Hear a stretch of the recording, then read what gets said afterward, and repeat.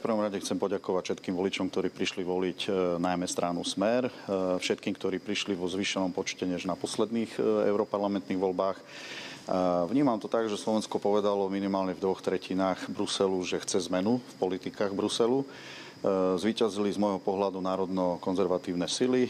Smer si významne polepšilo proti posledným voľbám a budeme presadzovať rozhodne, tak ako to hovoríme, národno-štátne záujmy Slovenska a budeme chcieť trošku utlmiť e, niektoré extrémne rozhodnutia, ktoré boli v oblasti klimatických zmien, v oblasti Green Dealu, v oblasti e, toho, ako sa vyvíjajú názory na to, čo ďalej s vojnou na Ukrajine. No, na víťazstvo progresívneho Slovenska hovoríte, čo tí sú takí vaši najväčší súperi?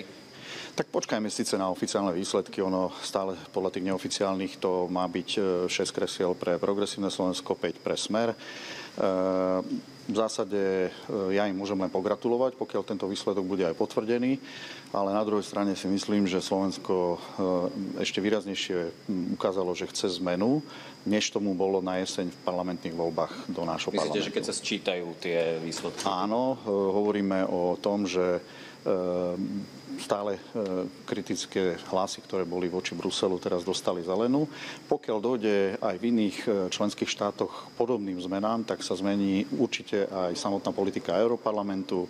Podľa toho sa bude odvíjať nominácia predsedu parlamentu, Európarlamentu, predsedu Európskej komisie, eurokomisárov čiže nakoniec môžu nastať zmeny v európskej politike.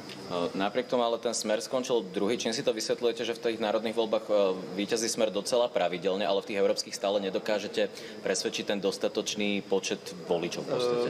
Nie som, nie som momentálne tak v informáciách a v štatistických výsledkoch, že by som to vedel objektívne skomentovať. Počkajme, keď budú štatistické výsledky, aká bola účasť v hlavnom meste alebo v iných krajských mestách, prípadne na celom Slovensku, či opäť e, možno ten región si povedal, že ten Európarlament im nestojí až tak za to prísť k voľbám, hoci tá zvýšená účasť jasne už hovorí o tom, že e, Slováci začínajú vnímať dôležitosť aj týchto volieb. Čo hovoríte na veľmi nízky výsledok pre SNS, ktorá je koaličná strana? Tak áno, je to na zamyslenie, že, že či ten výsledok zodpoveda tej ich politickej práci. E, nechcem to ďalej komentovať. Určite narušilo predvolebnú kampaň do Európarlamentu E, to, čo sa stalo v Handlovej. E, tie politické strany vyvíjali možno trošku upravenú aktivitu. Oni si musia vyanalizovať, v čom je problém. Ak som sa mohla opýtať, ako možno hodnotíte schopnosť vašich zvolených poslancov do Európarlamentu presadzovať záujmy Slovenska, možno aj v súvislosti e, s príslušnosťou k nejakej frakcii, že či budú úspešní v tomto smere?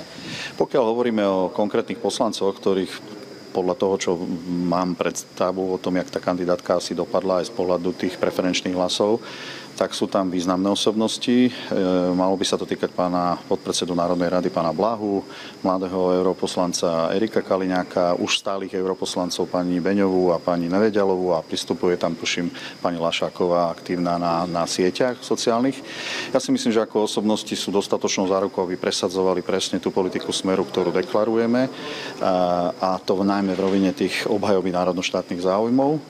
No a čo sa týka pôsobenia vo frakciách a v politických skupinách, e, myslím si, že dojde zmene aj e, pôsobnosti alebo v činnosti týchto politických frakcií, pretože e, tie môžu byť ovplyvnené a ich zloženie výsledkami aj v iných členských štátoch, takže by bolo predčasné hodnotiť, ako si tam budú viesť a ako sa tam zaradia, ale, ale keď budeme poznať výsledky celé Európy alebo tých volieb do Európarlamentu, tak to môžeme komentovať ďalej. Ale znamená to, že nevylučujete, že by išli vaši europoslanci do inej frakcie, ako sú sociálni demokrati? Nie, nie, to by som zatiaľ nechcel mm. vôbec konštatovať. E, počkajme na to, ja si dokonca myslím, že v samotnej frakcii sociálnych demokratov môže dojsť názorovým zmenám. Hovoríme o názorových hlavne zmenách. Čiže očakávate, že by ste sa do nej mohli možno že aj vrátiť?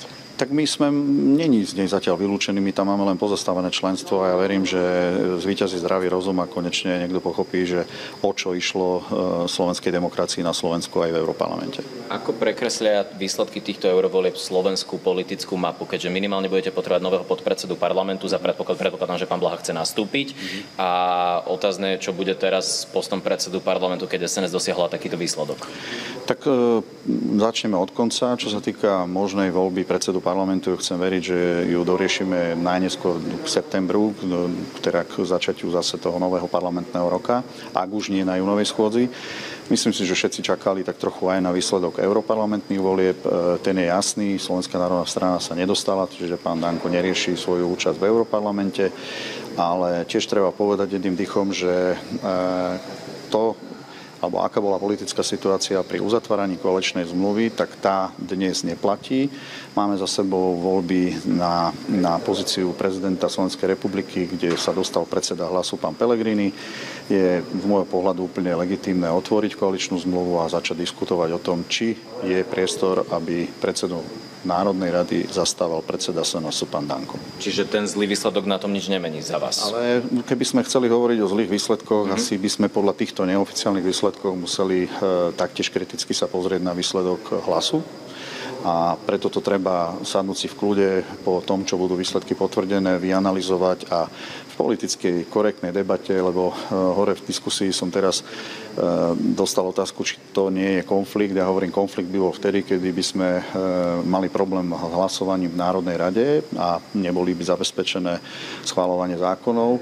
To neplatí. Myslím si, že máme zatiaľ rozličné názory na túto otázku, ale verím, že ju v dohľadnej dobe doriešime tým, že pán Blaha odíde, vy by ste mali záujem túto funkciu? Nie, nie, takto otázka dnes nestojí.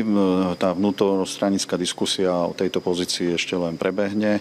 My sme nechceli predbiehať e, europarlamentné voľby. E, je tam dosť kvalitných kandidátov a podľa toho, ako rozhodne vedenie strany, tak vám to oznámime včas. Ste jeden z tých kvalitných kandidátov? No, nie, o sebe ja nebudem takto hovoriť. No, a tak takto, mali by ste vy o to záujem? Uh, takto, v zásade uvidíme, akým dojde ponúkam alebo k akej diskusii. Sú v parlamente e, ľudia, ktorí tam už pôsobia viac rokov než ja e, majú za sebou nejakú politickú prácu, takže áno, túto otázku treba zdiskutovať z každej strany. E, ja budem rád, ak Smer začne v parlamente a bude pokračovať v tom, že bude viditeľný vo svojich názoroch, že bude tvorivý, že tam bude nie, nie v rovine nejakých štatistov. Ďakujeme za sledovanosť, odber a like. Pracujeme na ďalších videách Vaša politická scéna.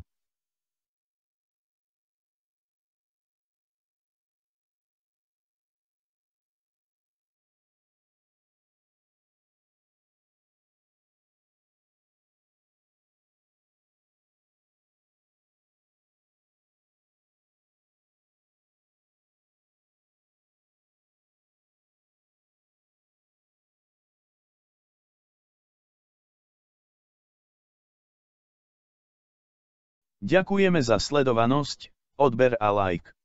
Pracujeme na ďalších videách Vaša politická scéna.